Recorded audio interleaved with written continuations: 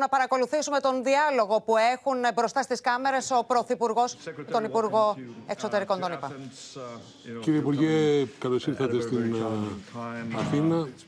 Ήρθατε σε δύσκολες εποχές. Εδώ και ένα χρόνο έχουμε τη ρωσική εισβολή στην Ουκρανία και όλα αυτά έχουν θέσει υποδοκιμασία την συμμαχία μας. Σταθήκαμε όμως ικανοί να ανταποκριθούμε με τον καλύτερο δυνατό τρόπο. Όπως ξέρετε η Ελλάδα έχει υποστηρίξει πλήρως την Ουκρανία και με στρατιωτική βοήθεια και έχουμε στείλει υπό κάθε δυνατή μορφή το σήμα μαζί με τους συμμάχους μας ότι αυτή η άσκηση βίας δεν είναι αποδεκτή από δημοκρατικές ε, χώρες. Έχουμε εμβαθύνει τις ε, διμερείς μας σχέσεις με τις ΗΠΑ, πράγμα το οποίο με χαροποιεί ιδιαίτερα και αυτό έχει γίνει σε όλα τα μέτωπα και στο στρατιωτικό μέτωπο αλλά και στο ενεργειακό. Ευελπιστούμε ότι θα μπορέσουμε να μην εξαρτώμεθα τόσο πολύ από το ρωσικό αέριο μετά από αυτήν την περίοδο. Είναι μια καλή περίοδος για την ελληνική οικονομία η οποία έχει αρχίσει να αναπτύσσεται και ξέρω ότι έρχεστε αυτή τη στιγμή από την Τουρκία όπου εκεί ράγισε η καρδιά μας ε, από την ανθρωπιστική καταστροφή που χτύπησε το γείτονά μας και ήμασταν από τους πρώτους που έστειλαν βοήθεια για να μπορέσουμε να βοηθήσουμε όσο μπορούσαμε. Μια φρικτή καταστροφή πραγματικά που δείχνει ότι όσο και αν υπάρχουν πάρα πολύ σημαντικές ε, πολιτικές διαφορές με την κυβέρνηση της γειτονιάζουσας χώρας. Οι λαοί μας είναι κοντά και ευελπιστώ ότι θα μπορέσουμε να χτίσουμε πάνω σε αυτό το ψυχολογικό δέσιμο και να βελτιώσουμε ακόμη περισσότερο τις ε, σχέσεις μας που θα είναι προς όφελος και των δύο χωρών μας αλλά και της Ανατολικής Μεσογείου γενικότερα. Καλώς ήρθατε για άλλη μια φορά στην ε, Αθήνα.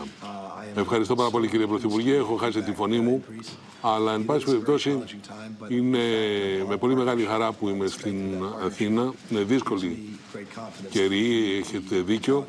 Αλλά είμαι βέβαιος, έχω εμπιστοσύνη ότι θα μπορέσουμε από κοινού να ανταποκριθούμε στις δυσκολίες. Όπως είπατε προηγουμένως, είναι ένας χρόνος όπου βιώνουμε τη ρωσική εισβολή στην Ουκρανία, αλλά χτίζουμε πολύ σημαντικές συμμαχίες, πολύ ισχυρές και πραγματικά ε, χαιρετίζω την ε, πρωτιά της ε, Ελλάδας σε ένα μεγάλο αριθμό μετόπων όπου επέδειξε την αλληλεγγύη της με την Ουκρανία. Η Ελλάδα επίσης φάνηκε λύτερη σε θέματα τα οποία άπτονται της ενέργειας, της αντιμετώπισης της κλιματικής αλλαγής και μια σειρά ζητήματα τα οποία πραγματικά αποτελούν πάρα πολύ μεγάλη σημασία θέματα για την σχέση μας. Έχουμε εμβαθύνει τον στρατηγικό διάλογο μεταξύ των δύο χωρών μας. Έχουμε εμβαθύνει την ε, εταιρική μας σχέση διμερός, αλλά και αυτά τα οποία κάνουμε μαζί στην περιοχή αυτή και ανά τον κόσμο.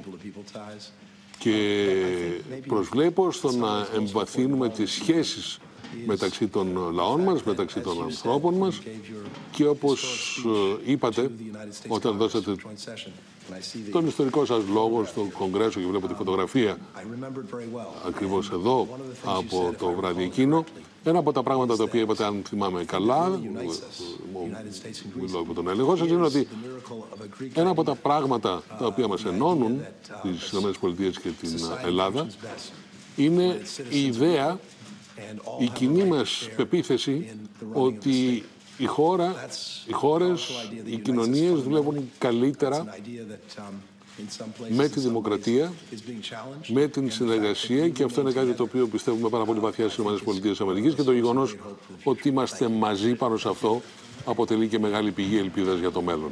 Σας ευχαριστώ πάρα πολύ. Ευχαριστώ, λέγει ο Πρωθυπουργός κ. Μητσοτάκης, ολοκληρώνοντας. Σε εξέλιξη η συνάντηση Μητσοτάκη Μπλίνκεν στο Μέγαρο Μαξίμου, παρακολουθήσαμε το διάλογο που είχαν οι δύο άνδρες μπροστά στις ε, κάμερες.